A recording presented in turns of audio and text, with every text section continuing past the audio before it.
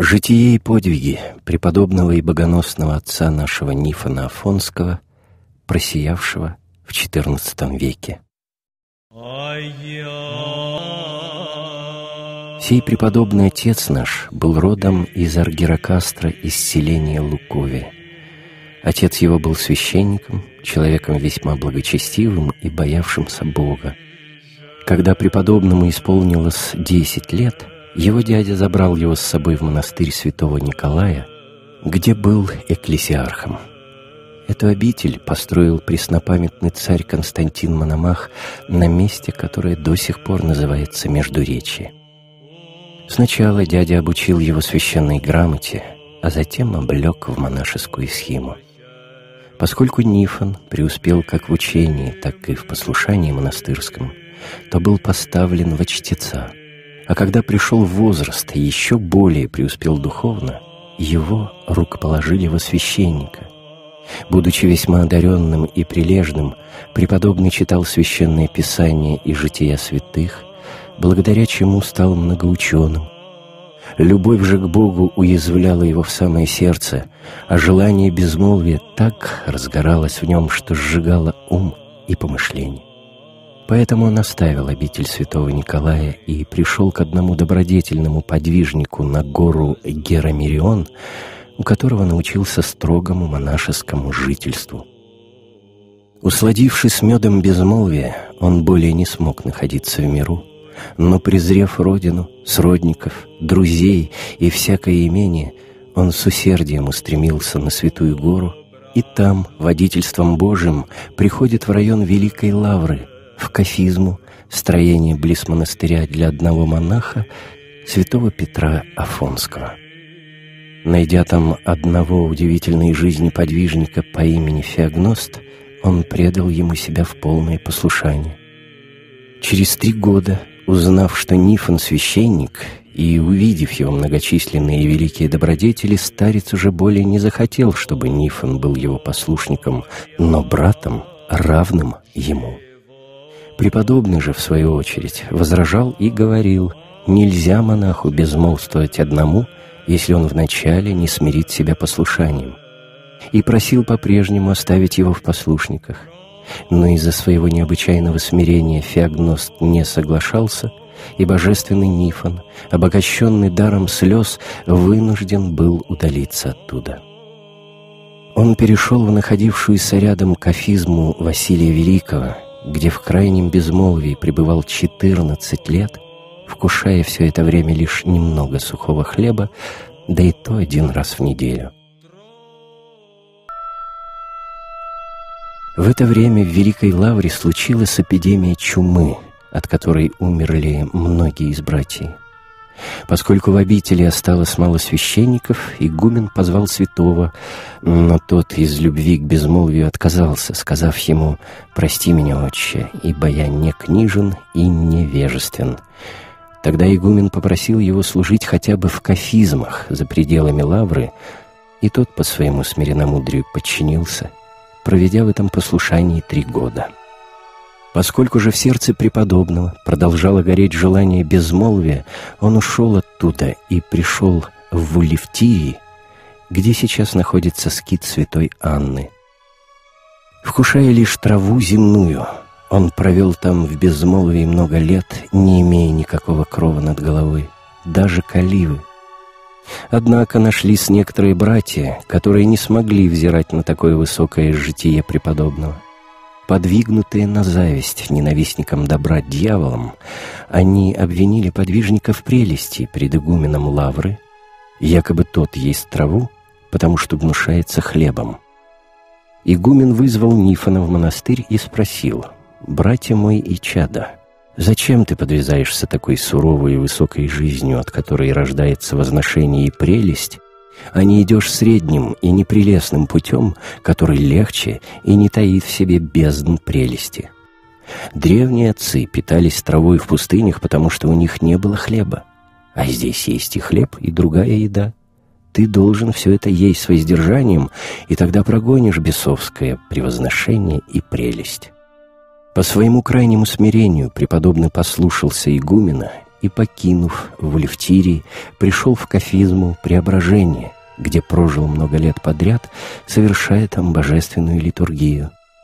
Узнав о нем, у Кафизмы собралось множество братьев, которые хотели стать его послушниками и иметь преподобного своим наставником и учителем монашеского жития. Но множество народа доставляло подвижнику сильное беспокойство, и он ушел оттуда к преподобному Максиму Кавсакалевиту, вместе с которым и безмолвствовал много лет. И такую они испытывали любовь друг к другу, что, казалось, была у них одна душа в двух телах. Святой Максим подарил свою каливу святому Нифону, а сам соорудил для себя другую рядом. Поскольку многие приходили к святому Максиму из-за совершаемых им чудес и пророчеств, через некоторое время святой Нифон, будучи не в силах выносить это беспокойство, ушел оттуда в пещеру, что находилась напротив кафизмы святого Христофора, где и остался на безмолвие. Позже пришел с его родины некий монах по имени Марк и просил взять его в послушники, чтобы научиться монашескому житию. Преподобный принял его, но велел построить рядом с его каливой другую для его брата. Изумившись от слов святого, Марк отвечал, «Отче, разве возможно, чтобы мой брат пришел сюда? Он же мирянин и имеет семью». Тогда с присущим ему великим смиренномудрием святой сказал, «Брат, я выжил из ума, поэтому и не знаю, что говорю. Ты же поступай, как хочешь». На праздник святого Афанасия преподобный послал Марка по какой-то необходимости в Лавру, сказав, «Возвращаясь с праздника, приведи с собой своего брата, посмотрим на него». Марк же, снова удивившись, отвечал ему теми же самыми словами — Однако, придя в Лавру, он обнаружил, что брат его сидит у дверей. Поняв прозорливость святого, он с радостью обнял брата, хотя испытывал грызение совести от того, что не поверил своему старцу.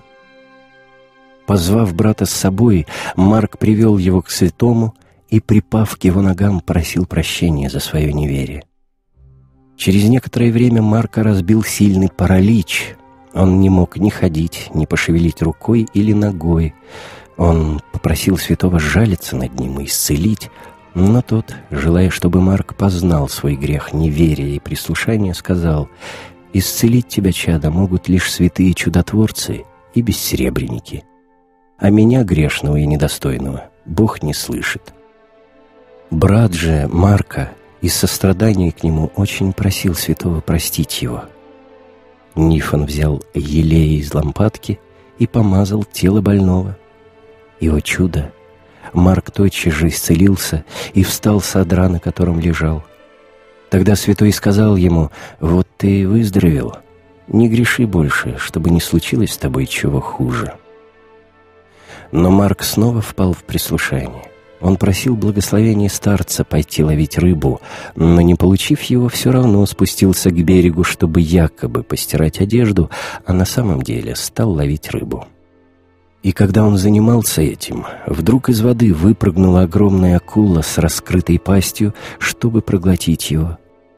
Испуганный Марк призвал в молитвах старца и, чуть отпрянув назад, едва-едва смог избавиться от чудовища. Он тотчас же прибежал к святому, держа в руках свой улов. Святой же, взглянув на него, сказал, «Не будь неверен, ослушник, ибо тот, кто преобразился в змея пред прародителями и научил их прислушанию, тот же самый превратился в акулу за твое прислушание, которому научил тебя прежде, желая ввергнуть в погибельный ров и духовно, и телесно».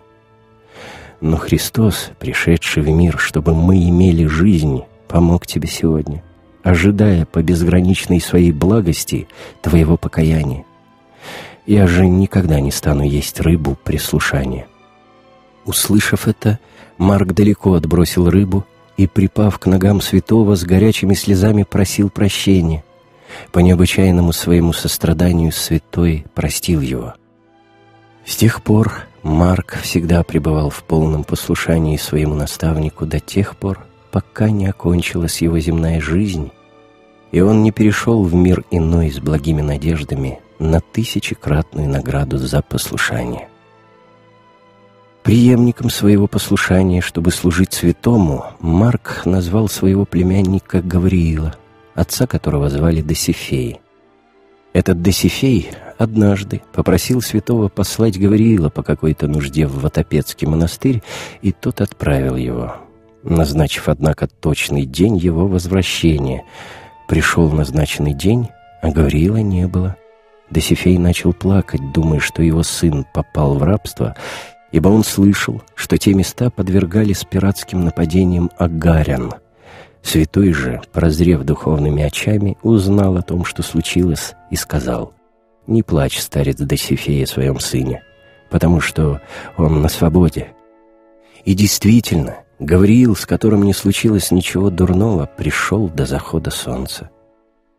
Зная, что через шесть месяцев святой Максим заснет последним сном, святой сказал своим сподвижникам, «Пойдемте к святому Максиму, насладимся его обществом, ибо уже не увидим его в настоящей жизни». Когда они пришли к нему и дали последнее целование, святой Максим сказал, «Радуйтесь о Христе, возлюбленные братья, сие есть наше последнее приветствие, потому что мы более не увидимся». И это было истинное пророчество святых. Прошло много лет, и на Святой горе опять началась эпидемия чумы. Эта болезнь поразила и Гавриила, которому угрожала смерть. Отец его безутешно плакал, а святой так утешал его. «Не плачь, брат, ибо сын твой сейчас не умрет, потому что так хочет Бог, ибо он послужил мне». Повернувшись на восток, святой стал тайно молиться о больном всемилостивому Богу, и молитва эта длилась довольно долго, после чего произошло чудо, и больной поднялся здоровым, прославляя Бога. Тогда, обратившись к Гавриилу, святой произнес, «Вот, брат наш с помощью Божией обрел здоровье, а я во время Петрова поста умру». Наступил Петров пост, в первую субботу поста святой встал, помолился, причастился при чистых тайн, а затем сказал братьям, «Чада мои возлюбленные Господи, вот пришло мне время пойти ко Господу, которого от юности желала душа моя. Видя, что все смутились, он сжалился над ними и сказал, «Чада, не должно вам жалеть меня, ибо отныне я буду ходатаем о вас к Богу, моля Его о вашем спасении». Вы же только соблюдайте его заповеди. В воскресенье он велел братьям сначала поставить трапезу, а затем ископать и подготовить ему могилу, чтобы, как он сказал, возвратиться в землю, из которой был взят.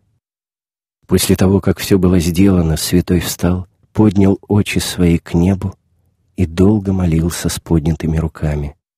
Затем, благословив и простив братьев и получив от них прощение, он скрестил на груди руки и предал святую душу свою в руки Божии.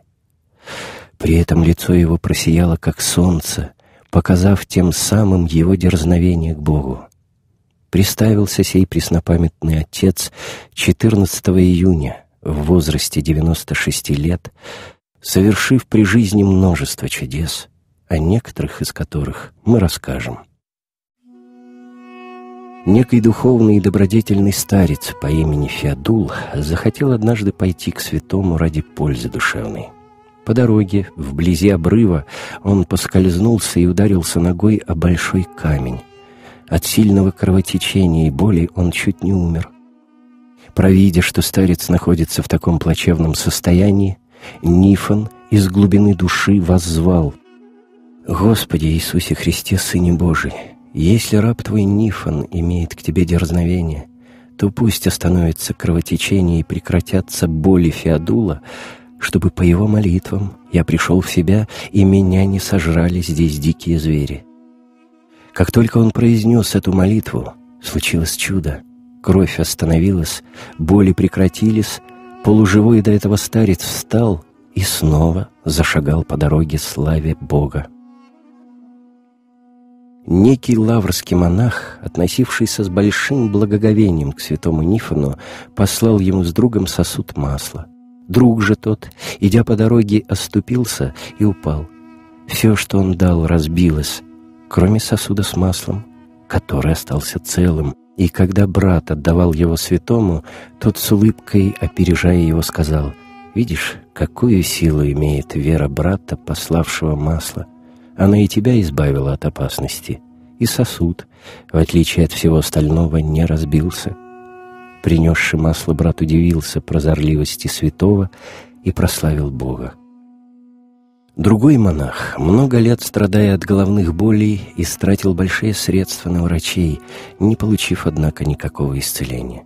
Придя к святому и припав к его ногам, он горячо молил исцелить его, говоря, «Я знаю, святейший отче, что все, что бы ты ни попросил у Бога, Он даст тебе, ибо ради любви к Нему ты избрал себе эту пустыню». Святой по смиренномудрию своему отвечал, «Отче, я грешен, а грешников Бог не слушает. Больной же не переставал со слезами припадать к нему и просить об исцелении. Побежденный естественной своей добротой и состраданием, блаженный Нифон прочел молитву над головой больного, после чего послышался шум, как от сильного ветра. И, о чудо, больной исцелился, поблагодарил святого и прославил Бога. Другой монах, Келиот, понадеялся на себя и на свои знания, поэтому и не стал открывать свои помыслы более опытному духовному отцу. Так он и жил, как подсказывал ему помысел. Вследствие этого несчастный впал в прелесть и принял ангела тьмы за ангела света. Наученный им множеству непристойностей, монах впал в гордыню и думал, что своими добродетелями превосходит всех. Однажды он пришел к святому Нифону. На вопрос, зачем он пришел, тот отвечал «Посмотреть на тебя, который знаменит добродетелью». Святой на это заметил. «Как это ты, такой великий и дивный, снизошел до того, что пришел ко мне, ничтожному и убогому? Бог оказал мне благодеяние и дар, который я имею от Бога. Брат, дар Божий есть смиренномудрие, Помысел от Бога — думать о себе, что ты самый последний из всех. Помысел от Бога — достичь великих добродетелей и думать, что ты хуже всех. А то, что ты возомнил о себе, — это прелесть от сатаны, который тебя и научил всему. После таких слов святого монах как бы пришел в себя и сказал, «Отче, если гордыня моя от лукавого, то прогони ее, прошу тебя, своей молитвой и избавь меня от высокомерия».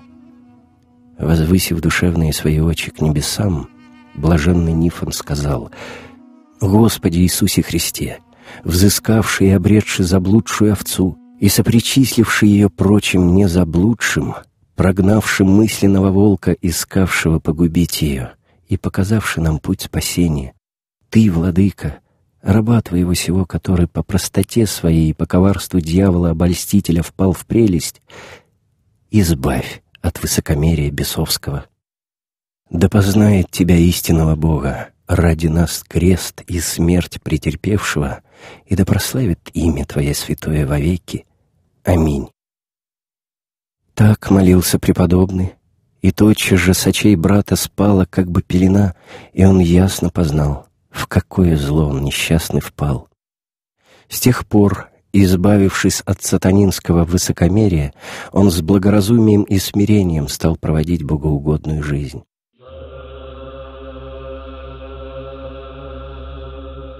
Из Святой Лавры за какое-то согрешение был изгнан некий монах, который пришел к святому Нифону и пожаловался, что его выгнали несправедливо. Этот брат просил, если возможно, позволить остаться у него послушником. Однако святой, провидя будущее, велел ему вернуться в монастырь, припасть к ногам игумена с покаянием и смиренномудрием, чтобы тот снова принял его. «Если же ты не вернешься, — сказал святой, — то и здесь не сможешь вынести все тяготы и лишишься того доброго, что мог бы получить в монастыре». Ибо если ты вернешься, то через некоторое время станешь экклесиархом, а затем игуменом. Однако тебе более всего должно иметь смиренномудрие. С улыбкой святой продолжил. Когда с помощью Божией ты станешь игуменом, вспомни о нас и уделяй нам средства от части общежительной. Когда монах вернулся в обитель, то действительно, через некоторое время, согласно проречению преподобного, стал экклесиархом, а затем игуменом, и посылал святому все необходимое для жизни. Трое монахов захотели навестить преподобного, но поскольку один из них был безбородый, они оставили его на дороге далеко от кафизмы преподобного. Когда эти два монаха пришли к святому, тот спросил их, «Почему вы не привели с собой того юношу, который станет обителью Святаго Духа?» Удивившись словам святого, они пошли и привели юношу. Получив большую пользу от беседы с преподобным и приняв от него благословение, все трое ушли, прославляя Бога. Юноша же тот, преуспев в добродетели, согласно слову святого, просиял в монашеском житии. Досифей, отец Гавриила, о котором мы уже говорили, просил святого позволить Гавриилу пойти по какому-то делу в Выверский монастырь. Провидя открытую ему Божьим промыслом опасность, которая должна была с ним случиться, он возражал. Однако Досифей утверждал, что никакой опасности нет, и что на следующий день он пойдет в Амальфинский монастырь, называемый ныне Марфинским. Нифон возразил, «А если Гавриил попадет в рабство в Амальфинском монастыре, что тогда будет?» «Пусть идет», Моей вины не будет в том, что с ним случится». Досифей поверил словам святого и более уже не противоречил. В тот же вечер пришел к ним некий брат и возвестил, что от Морфинского монастыря отошел корабль с пиратами, которые захватили трех монахов, случайно оказавшихся на той дороге. Однажды пришел к преподобному один лаврский монах и возвестил, что иеромонах Иоанникий, посланный игуменом вместе с другими братьями на остров Скиру, но в море на монастырский корабль напали пираты и всех взяли в плен. Лаврские отцы собрали деньги для выкупа, и этот монах дал от себя одну золотую монету. В это время Нифон сказал ему, «Лучше бы ты, чада, отдал этот золотой нищим, потому что Иоанники и прочие уже освобождены, и с ними все в порядке. Ох, если бы и мы могли поучаствовать в том утешении, какое имеют они сейчас. Услышав эти слова, монах запомнил день, когда святой Нифон это сказал, и по возвращении Иоанникия в Лавру рассказал ему о пророчестве преподобного. Нужно отметить, что именно в тот день Иоанникий с братьями поймали много рыбы, поэтому они и получили великое утешение во славу Бога, прославляющего, прославляющих Его. Аминь.